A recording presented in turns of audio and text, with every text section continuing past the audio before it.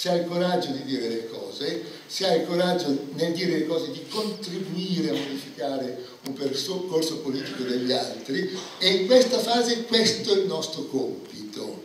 Non possiamo pensare di aspettare di avere grandi percentuali per muoverci, dobbiamo muoverci oggi sapendo che la realtà delle cose, come avrebbe detto Craxi, impone di muoverci. Questo è, mi sembra, il filo conduttore di un'iniziativa che oggi poniamo nel nesso Craxi e autorità della politica.